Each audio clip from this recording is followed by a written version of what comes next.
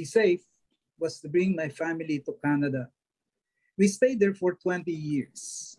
After 20 years, after 9 11, we felt we were led by God, by the Spirit, to go back to the Philippines.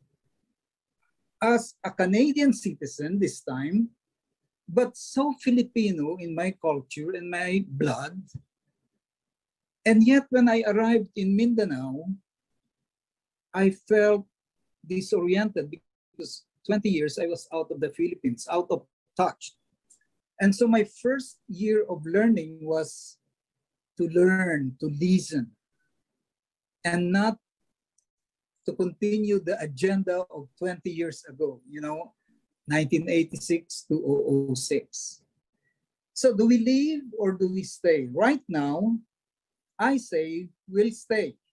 Because during the first uh, time I was active against the Marcos Sr. presidency and dictatorial re regime, we are now faced again with his son, the son of the dictator, voted in as our new president. And it's so easy for me to think of leaving the country. And if this nation want to go on and lead the nation, you know, be the nation they want to be, when we lost the election last month and Leni Robredo did not win, and the son of the dictator, Ferdinand Marcos Jr., won overwhelming. I said, so this is what my country wants. Why should I keep doing justice, peace, and reconciliation work in this country when they don't want it? So I wanted to leave in the first two days after election. And then Wendy told me, can you speak on this? it's so awkward. I don't want it. now, after a few weeks, my wife and say, my wife and I said, we will stay. Why?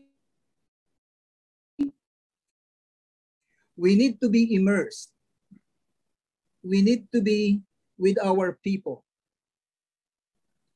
I miss my two daughters and their families who live in Vancouver right now. My son and his family joined us in our ministry here. Our work is basically decolonizing peace building approaches here in the Philippines. And from as a follower of Jesus, we want to look at peace building, justice based peace building, and uh, conflict uh, transformation and reconciliation from a perspective of the process of decolonization and indigenization. And so that's where I'm at right now. I have no definite answers or definite principles to tell you, except that we believe we should stay and we will walk with the people it may not be secure, it may not be safe, but either we're crazy or we, the peace of Christ is really true. Or maybe caffeine helps too, because we sell coffee. That's where I am right now. My hope is for the new generation to continue this vision of decolonizing, peace building, justice, ministries and reconciliation ministries. And now, my main focus is to train young people like Tala. Tala, it's your turn. Thank you, Ama. Mamforoy or kauto ulosan. So that in our language, that's good day to all of you. And Ama is um, the Tagalog language for father. So um, the question of staying or leaving it actually indicates um, it indicates mobility. It indicates um, whether you're going away or you're coming home to a place you call home. either by force or by choice. So I grew up in a homogeneous indigenous community. And so my elders always taught me in so many ways, verbal, non-verbal, through tradition, through storytelling. But I grew up that number one, I am not just an individual. Every time I introduce myself, actually every time someone asks my name in our place, it's never my name. What they are asking is, who is my family? Who is my tribe? So I never say my name is Tala. I always say I'm the, the, the, the uh, I'm the daughter of, the granddaughter of, from the tribe of, and then I will say my name last if they ask me. And so I grew up with that sense. And every time our elders will tell us, as the, uh, the younger people, oog tapan ukali, or always hold on to the values. Because it's always, um, it was always ingrained in us that we would have to go away because we need to go to school. Because that's the only way we can engage with the bigger systems. We have to go through formal education. And unfortunately during our generation um, schools were not yet in our in our tribe. We just had a sixth grade uh, school. So we have to go away. We have to go to the city my elders always tell us og nantapan ukali always hold your values. Always hold our values. And our values, there's actually three. And these three cannot be separated at all. The Paniyaw, the Ngilin, and Bain. And our elders tell us we should hold these three together, not in not single values, not single or uh, separate values. So Paniyaw are the values that govern your relationship with the spiritual world. Ngilin are the values that govern your relationship with yourself and with creation. And Bain are values that govern your relationship uh, with with others. And so we were required, or we were we were we had that responsibility to hold that wherever we go. We are we actually they always tell us not in these words, but basically the summary is we are both an embassy and a diplomat. That which, which means wherever we are, the our people can be safe with us, and wherever we are, we carry our people with us, right? Wherever which means when I go to a place, I carry my people with me and my identity is tied to a clan and to a tribe. That's my foundation. So when I go to a place, how do I honor my relationship or the relationship with the spiritual world in that place? How do I honor their being? How do I honor the creation? How do I honor how do I honor that land, that whole of it where I go? And I can only honor it through listening. So that's why it's intensive listening. So through listening and intentional relationship building, that's how I can honor it. And and I and I have learned as I as I got older that I was only able to truly listen when I knew where my center was. When when I really appreciated the foundation that I had my the, my people, my tribe, and the values that they have taught me. That's how I was able to listen to the to, to the people that I am engaging with without getting lost. And so staying and living for me is not just a question of staying or living. It's more of a question of how well have I listened? How well have I related that the place have claimed me as their own? And how can I know when the when the place have claimed me as their own? When I go away and the people that place all of the place still tells me to come home to them that whenever i go back i still have a hope with them that's when i know a place have claimed me and i can only be claimed when i have truly listened and engaged with them however if that's how i engage with other people that's how that's how we also in our tribe that's also how we expect people to engage with us if people come with a listening heart, a relational heart, oh, I'm telling you, you're the safest. you will never go hungry. That's what the Leviticus said. The foreigner will never get abused. If the foreigner starts thinking that they own us or they own the creation around us, that's when we will have to have a dialogue or maybe even more than a dialogue. because we are also we are also um, we have a uh, a deep appreciation or a deep connection to all the beings around us. So that's all. Wendy? Wendy. So here's Wendy. so we wanted to give you a sense of one of the organizations that has already joined the Global Anabaptist Peace Network, giving you a sense of the staff that are part of it, uh, some of the things that they are thinking about, and to now give you a chance to interact with that. And we decided we'd like to ask you the same questions that we asked on June 28th after people heard these two speakers and also Erica Littlewolf, which I guess on another occasion you'll need to listen to. So our we had two kind of prompting questions, and um, we're going to ask see if you have some just ideas that you would like to share in a moment.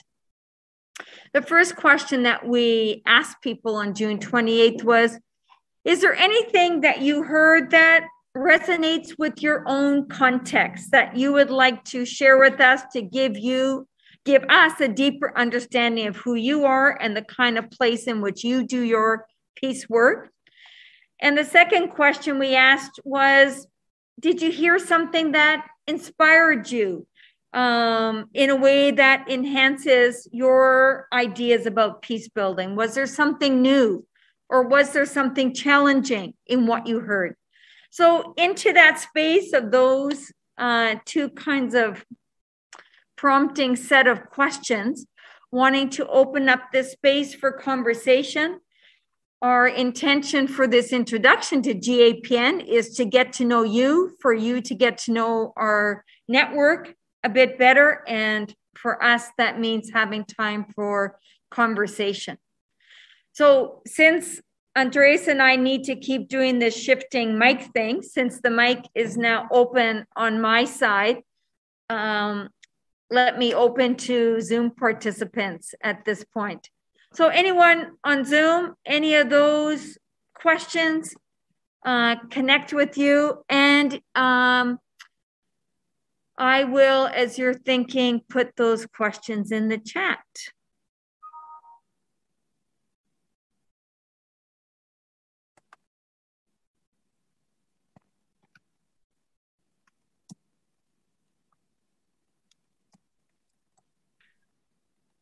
Maybe I can start. Um, I yeah, thank you. I really appreciated the sharing from Mindanao. Um, and for me, the question of should I stay or I shouldn't, I need to talk into this microphone. Um, should I stay or should I go? Um, implied the question of,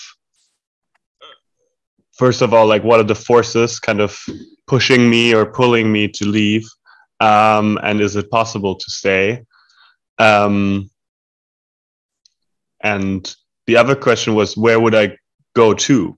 And the necessity of safe places to go to um, and places of hospitality where maybe it's not such a if there were many places of hospitality maybe it wouldn't be such an absolute leaving or going situation and could be more of a i can go for now and knowing that it will not be such a hassle um, yeah so we are thinking a lot here about um, hospitality as we are in a transit hub, um, and also we have had to receive people now with um, Ukraine and also with other waves of refugees before. That's those are my thoughts.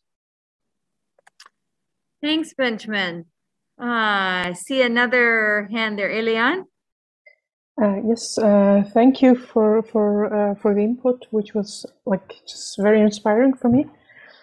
Um, so one thing that resonated a lot with me was this um, this uh, also the the sort of the the this con- uh, or this this um, ec- maybe explanation also of of, of uh, sort of a collective identity, which I resonate a lot with in just a way that um, I grew up with in, in my family, um, which is very contrary to like the very individual identity that I'm like that I know for, from friends and and uh, um, people around me in my context and sort of um,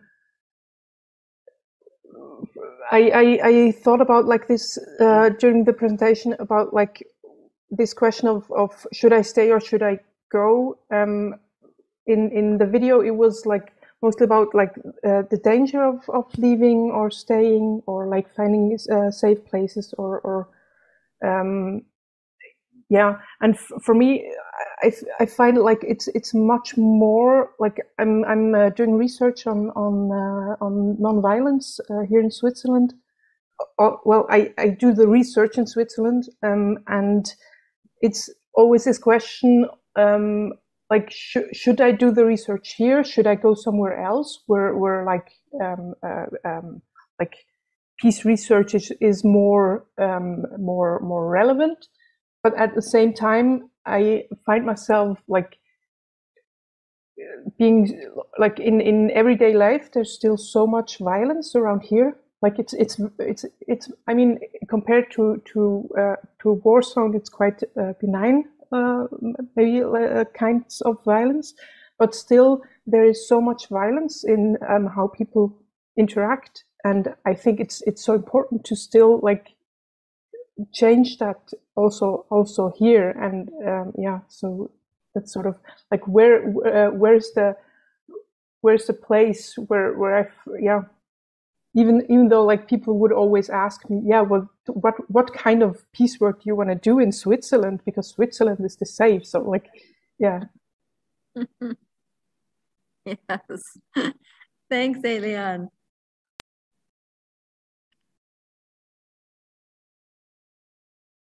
maybe I'll add as some here are, are, thinking about how they might respond.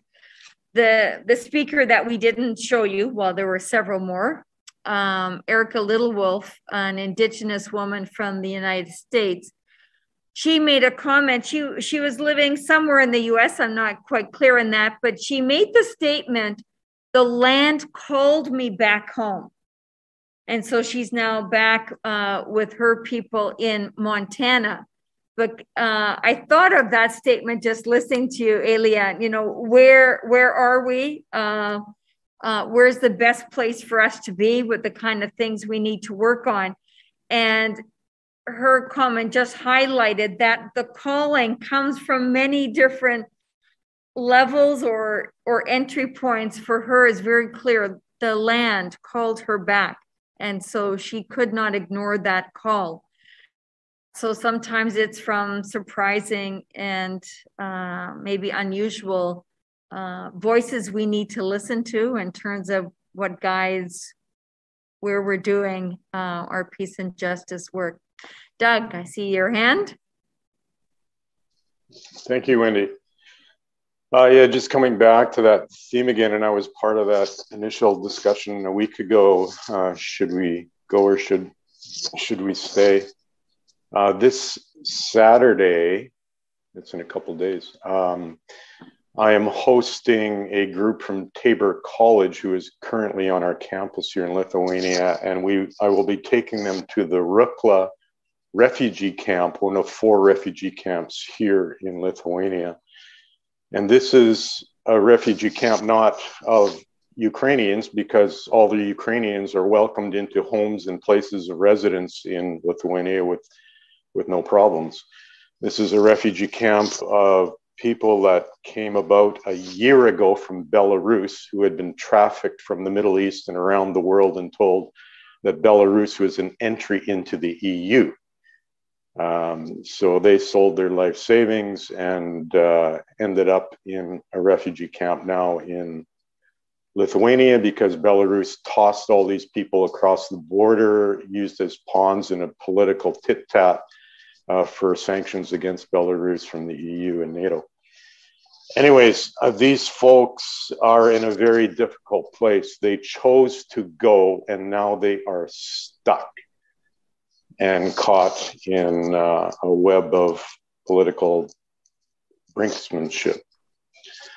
Uh, so we're going to introduce uh, these folks from Tabor College and from Wichita and Hillsboro, Kansas, uh, to them on Saturday and um, it'll be my my second opportunity to be there. We lived in containers with these folks for five days back in May and worked with them resiliency and trauma training and uh, peace building and leadership. But I guess my comment on this would be. Uh, they had agency to choose to go, and now they have no agency.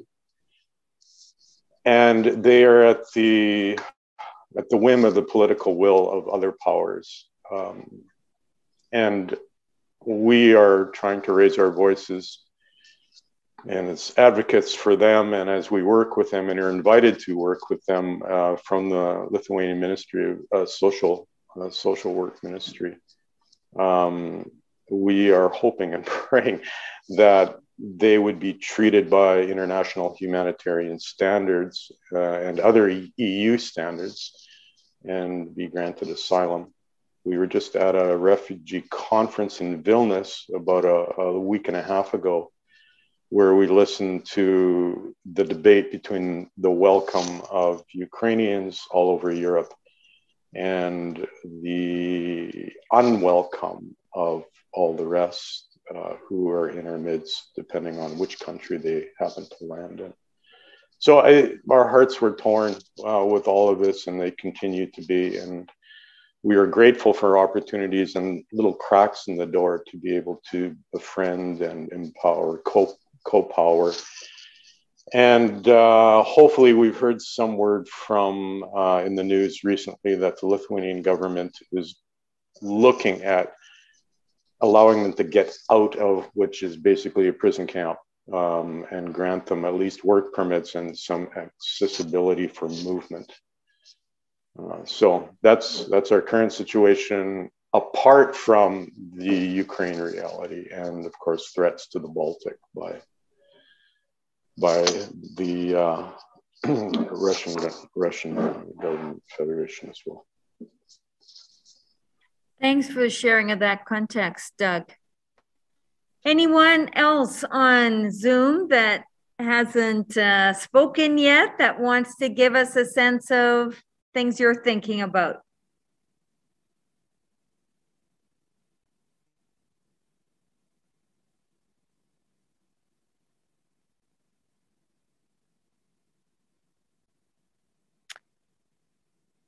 I will uh, turn the mic over to you, Andres, and uh, we'll hear from those who would like to in this room. And then we're going to move to kind of general questions you can ask about uh, how the GAPN functions, and Andres will lead us on that.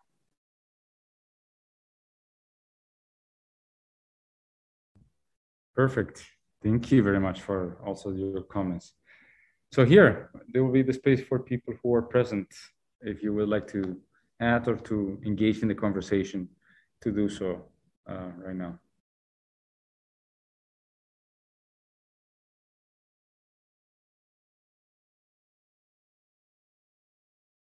Safari, you want to let us know a bit about your context? Yeah.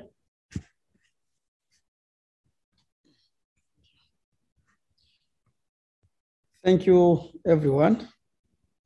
In our context in Africa, there are many thousands and thousands of refugees who are living in a different way, different places like in uh, Malawi, Uganda, Mozambique, Congo. For us at MB, we are focusing on starting Peace Club in refugee camp. Why Peace Club or Peace Group? We believe if people can be trained, can be equipped in refugee camp, when they go back home, they can be ambassador to participate in peace. And uh, second, we have starting a new program of trauma healing because the level of people who are living in a refugee camp, the level of trauma is very, very high. And uh, we try to help them to do counseling, to do reconciliation. And uh, I hope when you have new generation who are peacemaker, who can grow with new spirits of love, peace, and reconciliation, I hope we'll have a good generation. And uh, in future, we need we need to invest too much in young generation because if you deal with the people who are maybe families in Africa, someone can have 10, 15 children. He's busy to look food for his 15 children and other things. And to take him, to teach him, I hope it takes time to understand what you are doing and have time to be with him. But if you have new generation, young African who can be involved in peace building, will build a better Africa and uh, Africa will be peace continued. Thank you. This is what you can share.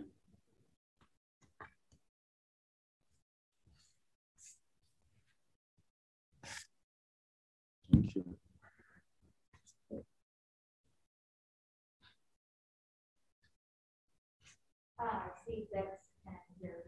Doc, are you are you raising your hand still, or is it up?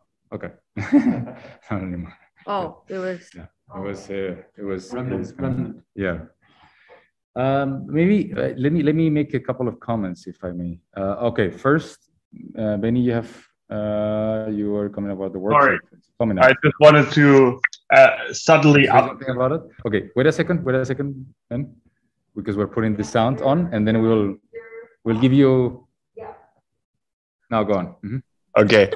This happened again, what I always do. And I just wanted to subtly alert us that there is another workshop on similar themes uh, happening in a few hours about it's called the walled world um, and breaking down barriers of hostility uh, it's online i didn't actually want to take center stage i please continue with your uh, with your things Yeah, people feel free to add interesting things in the chat for us. That's great.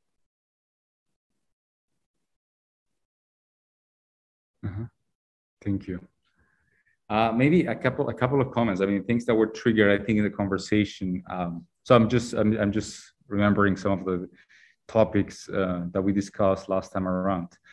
Uh, the first thing that comes to mind is the what I will call we had this in a in a breakout room the conversation about the stigmatization of people leaving a place, right? Like how can you stigmatize and how becomes stigmatizing also the um, some form of action towards people who leave or to decide to leave a place for to, to protect their lives, to protect the lives of, of, the, of their loved ones, and and so on. And and I mean, I was reminded about the, some of these discussions that we have uh, in the country that I that I was born in, which is Colombia, uh, when it comes to the internal displacement and discussions about the internal displacement and how that could you know be again seen some of these actions as uh, as uh, betrayals, you can say sometimes but also how the, the question of hospitality and reception becomes a triggering point, right? Like usually internally displaced people in Colombia, so people who live in the countryside, mostly campesinos, campesinas, farmers, they are displaced by the by the violence in different forms, threats, actions of armed groups, pressure, economic, I mean, poverty, and so on, and they end, end up basically covering the marginal spaces of, of the big cities. Bogota is a good example, the capital of Colombia, right? So a lot of people come to the surroundings and they create this, what I would call the line of poverty and, and I mean, really uh, rough conditions in the outskirts of the city. Um, so there's a whole discussion about that kind of movement and, and, and, and the reception, hospitality, uh, and so on. And I remember it was a, it was a huge discussion even at the church level, at the Mennonite church level, where I belonged. Um, ultimately to, to be able or to be willing to be more receptive to um, let's say, to to internally displaced communities and people. Um, and even then there were some so I, I perceived some tensions between different forms of decision making when it came to you know do, do you stay do you go then do you stay in the country is the next level or do you do you want or do you attempt to leave the country as a, as a politically as a political refugee somehow um, and again there will be all kinds of stigmatization. So i thought I, I, I don't know i was i was thinking a lot about that. And we had on the first day so 27 of june isaac villegas which is based in north carolina pastor in north carolina uh, with latino background uh, in terms of his parents. And I, I, he helped me quite a lot to to uh, create language for different moments and different options i think. So if i recall but you have to correct me the ones who were there um, i think he offered three different levels of um, sort of thinking about this this this topic. Yeah. So he first used the, the, the, the, text of Abraham, you know, the sending of Abraham, as a moment we can actually think that going to a different place can be an act of blessing to others. You know, how it's not just about forced migration, it's not about forced displacement, but how you can be actually a called or be called to actually be a witness and to serve and to to have a life or to witness in a different place. And then this idea of, of movement i think it's it's it's a very interesting dimension that you that you engage in that kind of motion. It could be actually a blessing for yourself but also for others for the for the receiving community if you will. So it doesn't have to be necessarily triggered by violence. Um, it doesn't have to be triggered by by by forced conditions so to speak but it can also be um, actually inspired by your own journey and your own faith uh, and what your life is, is going um, so that was one of the elements. The other, of course, is when there are moments where the place where you are based, uh, let's say the conditions and the possibility to witness to, to God's peace is not really possible anymore. To understand moments also the conditions are not given for your life, but also to, to create in a space there's so, so much oppression and, and injustice that is really difficult at any point to conceive that there's a moment where you can withstand. And then the idea of living and forced forced living it becomes kind of a kind of an option. And then of course the, the idea of staying assuming that you have this particular connection with land and that that that that should not be uh, disturbed and and you try to witness to that with with all kinds of of um, yeah i don't know with with your life even uh, that you really want to stay and you want to to remain in a place. So to think about this this this more these complexities right of you know living staying and and even the leaving part arriving to a new place, I think would really help me to think about how you can be um, a witness in a different place um, and how you can you can serve in a different place. So I, I don't know, it, it really triggered my mind or it really provoked some thoughts about that, especially based on the on this, as I said, this Colombian experience. Mary. Did did um wait, wait I, a second, wait a second, sorry, sorry. Sorry. Wait a minute. We're using two computers, so we have to always coordinate with when the, the, the sound. Sorry, sorry about that. Okay. Um, did Isaac have You're scriptural. Yeah. Did did Isaac have scriptural like, like, people for the other ones? Okay. Did, so you said Abram and Sarah for the first. Did I did I not catch the other ones? Was there a scriptural like person or instance for the other ones? I, I'd be curious about that. Okay.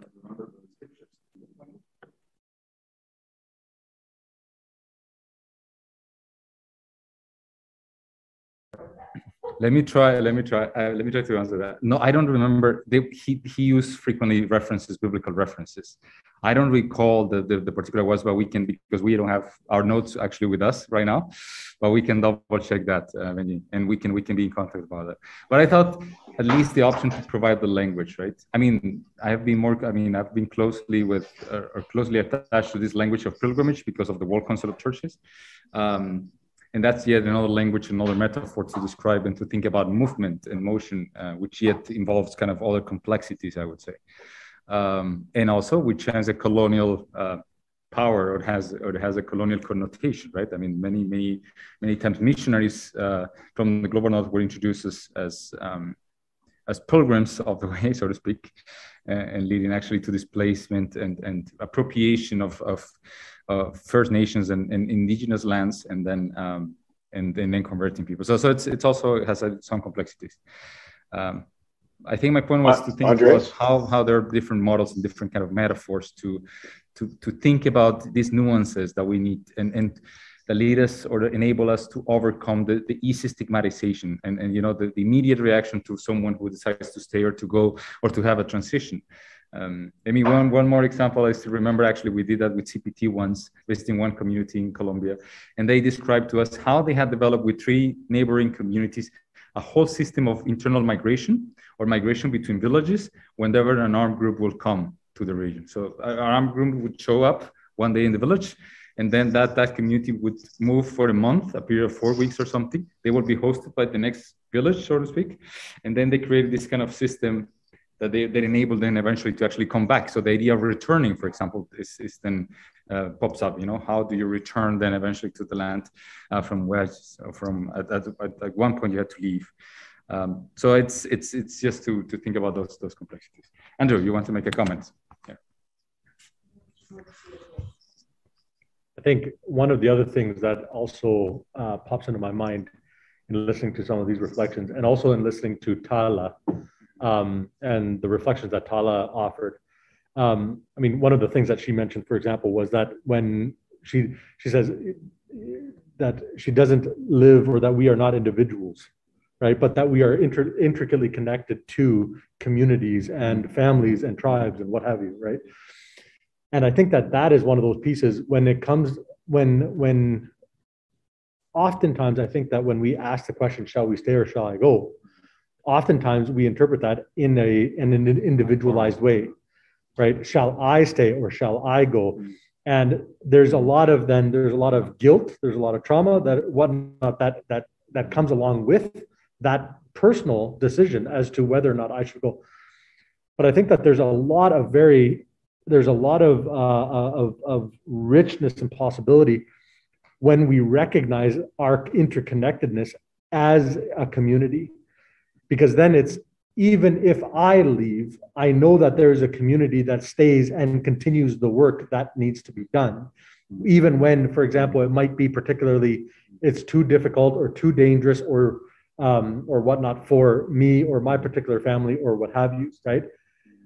And so de-individualizing this question, I think, is of particular significance. And I'm, I think of the context that we're in, you know, in this week, right, where we're looking at the global church and who we are as the global church.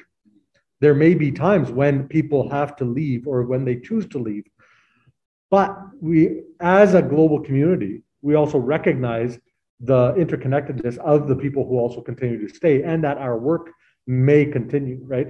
So I think there's a real richness that I personally am tempted to really lean into in what Tala was talking about in just in in in in kind of moving away from that individualism, which I think is kind of inherent or or or yeah, inherent within that question, right? Just to say that probably that means that the question will change from shall I stay to shall I go to shall we stay? Shall we go, right? As a in this more communal sense or or to think more about in, in that kind of key. Um, I am looking that my battery is almost out quickly adjust that. Yeah, I, we will. Okay, solve that. Thank you, Andrew. Uh, let's have just, I mean, we're, we're trying to be mindful of time. Um, and, or which of us should stay and which should go? That's also a good yeah. question, Benji. Okay. Benny. It's, it's, it's also a good, a good way of phrasing the, the question. Uh, and who can receive the, the, question of hosting and reception uh, of communities. I think that's that's also an important one. Um, so as yeah, as we can see, it's um, yeah, it's a whole process of discernment. It seems. Uh, I think following what what Wendy is writing right now. Um, let me share with you. Uh, okay, first of all, is there are there any final questions or any burning thoughts that you would like to share before we move to the last part of this workshop? I don't want to leave this with this, the feel that someone had really wanted to say a last word and uh, about this topic for the for the time being. We know this conversation continues, but just for the time being, if there's some last burning uh, comment or question from your side.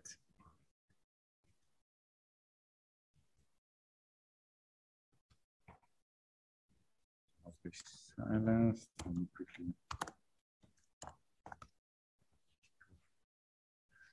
Well, if there's not uh, one, then let me make this transition. Let me share one more time screen with you.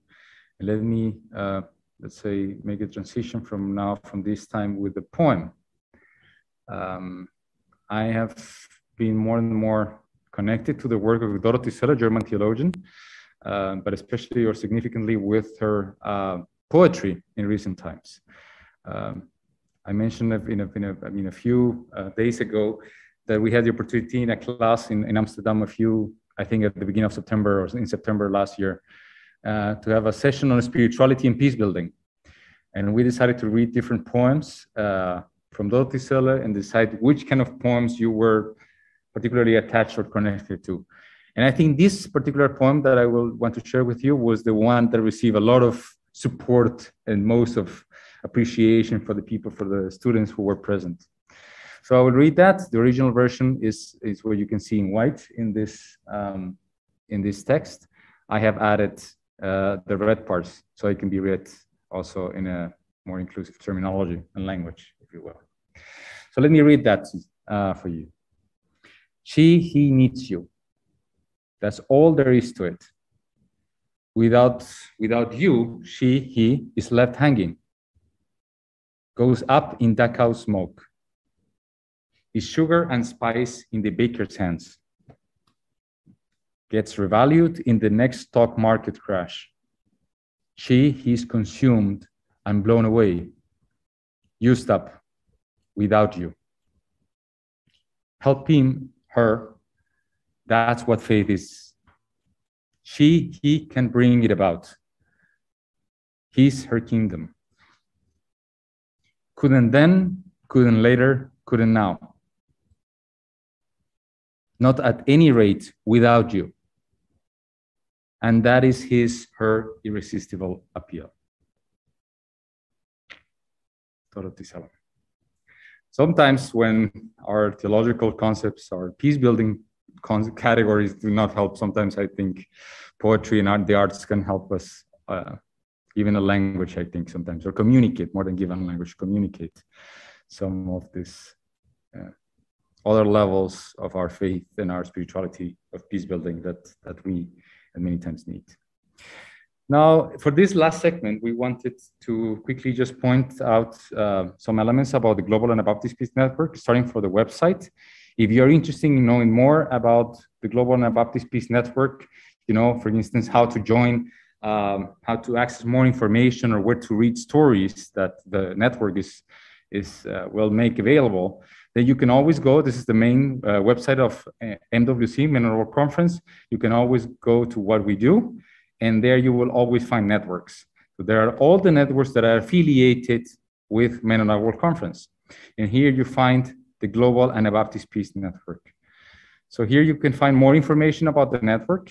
Um, that includes, for, for instance, terms of reference, how to become members, who can be members and can apply for membership and what the process is like.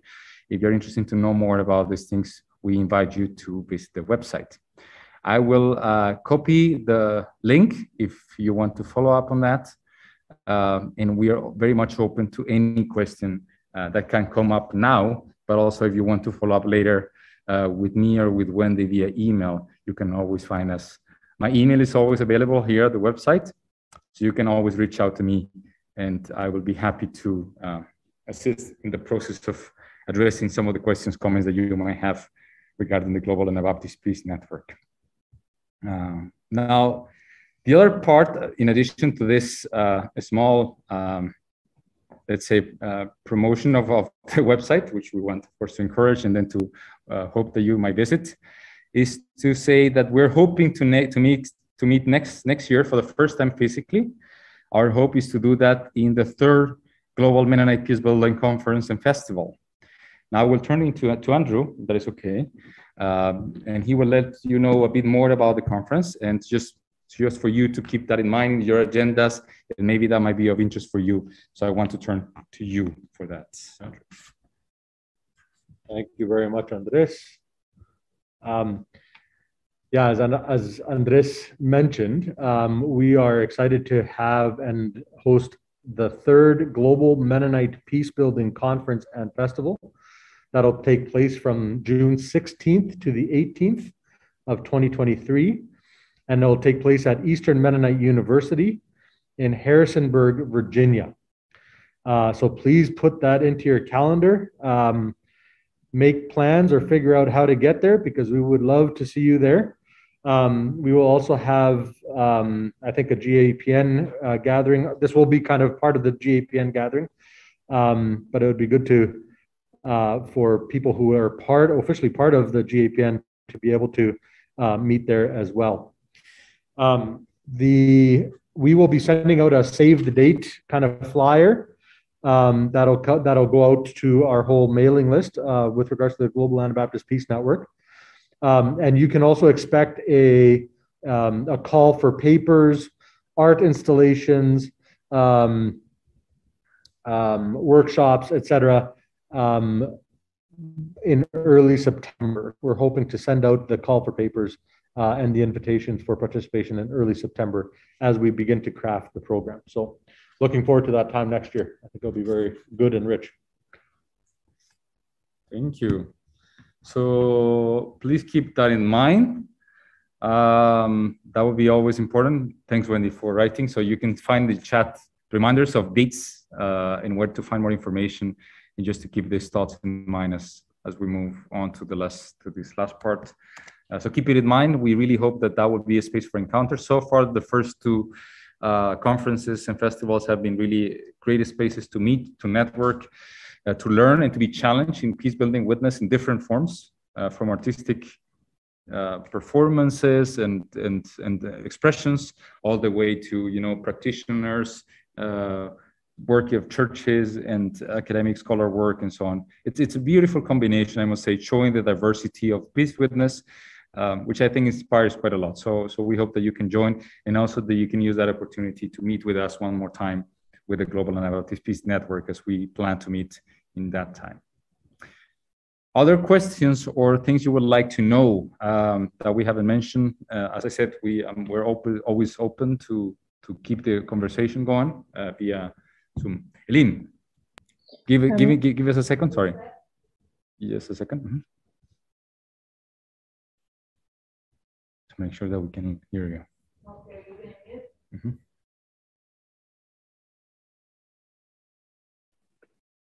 that never goes the first time. Hmm. Eliane. Yeah, so um, uh, as I understood it, the the uh, being sort of a member of of uh, uh GAPN um, is is uh, um, for for uh, organizations, right? So my question would be like, um, how can individuals connect um, especially like from uh, with this question of um, as a researcher also is there like is the GAPN a good place to to um, come ask questions uh, or uh, also like to connect um, amongst uh, uh, um, uh, um, Anabaptist peace researchers? Thank you, Eliane, for that question. Um, as we started organizing the GAPN, we asked that question of should we be more than uh, organizations? And what we've talked about is that in phase one, to just get going, that we would be in contact with global, you know, Anabaptist Mennonite peace organizations as a way to bring some larger set of uh, resources and questions into the mix and that we would then move to a second phase where we would invite uh, people like yourselves, the way you're describing yourself, um, individual practitioners. And so when we, in the early part of this coming year, start conversations with our current members and hopefully some of you here who represent uh, Anabaptist Mennonite organizations might consider us as a, as a place to do some of your peace work. This will be one of our questions that when do we feel a little bit kind of solid with some direction in which to engage uh, some of these individual uh, passions and interests. So for you to write an email to Andres and say, hey, let me know when you're starting that conversation because I'm interested in that. So we are heading that direction. and would certainly then want to be in contact with you. Is there anyone else on Zoom that has a question since we've got this side of the mic open right now? And so Andres put his email address there.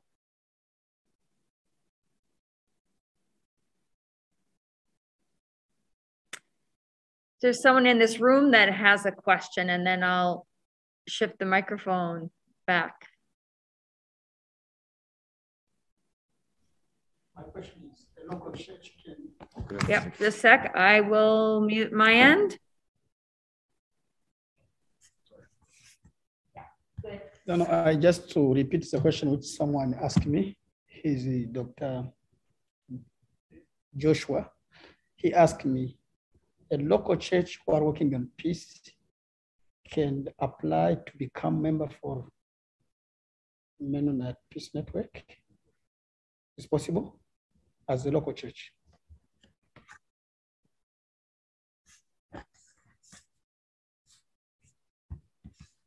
Um, let me try to answer that. We have had, it's interesting how this uh, different questions have have come to us.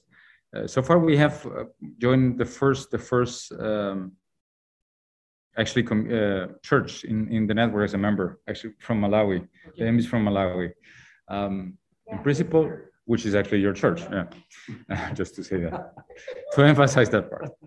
Um, but to, this is this is an interesting opportunity. How and to what extent some congregations, peace ministries within churches perceive that they can be actually you know bodies that can join the GAPN. Uh, I think in principle those are those are spaces that we also want um, to invite to join. Um, and I think whenever there will be some questions or process of discernment, we want to discern these questions with you. Uh, so for, for instance, if we get uh, applications for a, for a local congregation, in principle, we will always consider this, these applications. And if there are some, this, I mean, questions as to, you know, pertaining, is it a peace ministry? Is it, you know, a particular group within the church? Is it the church as a whole? So we can engage a bit on the servant about what would be the best way of connecting with the GAPN in those particular cases. But, I, but in principle, I would say that they are very welcomed. Uh, local congregations that are, that are, you know, thinking in addition to many things they do and witness to uh, that peace work and peace witness is one of their important uh, characteristics and, and, and, and, part of the work and ministry uh, to, to, the, to consider that also as an option uh, to join the GAPN um, if, if, if you want. Um, thanks for the question. Also, it's it's a very good question because it's it's it has come up at some point. And it helps us also to always think have that in mind as an alternative. So I appreciate that. Mm -hmm. I am trying to be mindful of the time, and I propose that we close one more time with a prayer. This time is a very short. This is almost a sending uh, blessing at the end. Oh, sorry, Wendy. Uh, just say I added the question we didn't have time for in the chat. Just if you can highlight that. Which one? The last one. Are there themes? Ah, right. Thank you. Thank you. So I think Wendy mentioned at the beginning of this of this space um, that we want, that we're thinking and discerning as Global Anabaptist Peace Network as a result of our meeting last time around uh, about the possibility of defining a team for next year at least. So we want to focus on a team and we want to, you know, direct most of our attention in terms of our sessions, uh, probably organize a few, a few webinars or, or conversations online around this topic. If there are any suggestions or recommendations that you might have about, you know, this is a pressing topic or this is a team that we find uh, potential or we might seem or we think that might be very important to discuss for such a network and for the organizations and churches that are connected to it. Uh, we will very much appreciate those suggestions and recommendations. So you can send uh, those to us to either Wendy's email that you have now in the chat as well, or to my email. So are these are there teams, issues, actions that you would like to see the GAPN the Global Anabaptist Peace Network work on? Uh, that would be the question and if you have them in mind, of course, uh, as a good friend of mine would say, uh, you are very, very clever five minutes too later, you know, five minutes after something has happened. I, and I always like that expression. So if something comes to you five minutes later, so to speak, as my good friend would say, then please let us know. I think it's a good, it's a good way to describe it. Now let us close, uh, if that is, thanks for the reminder, Wendy. Um, let us close in a time of, of, of uh, common blessing, I would propose. And I will invite you just to open your mic. There will be probably some a bit of chaos here involved, uh, but it's part of, of this of this time of, of these hybrid modes. Uh, so let's read this this blessing together, if if if you are willing to. God, God, please go before us to lead, walk, walk beside beside us, us to be to friends, be friend, be be above us protect, to protect, stay behind us, stay behind us to direct, to direct, Be beneath us. beneath us, us to to support, support, abide abide with us to to love. love. Amen. Amen. Thank you so much for your presence here. It, it really means a lot. Uh, and we look forward to connecting in multiple ways and different ways in the future with each one of you. Thank you so much and peace be with you. Thank you. Peace be with you. Thank you. Bye bye.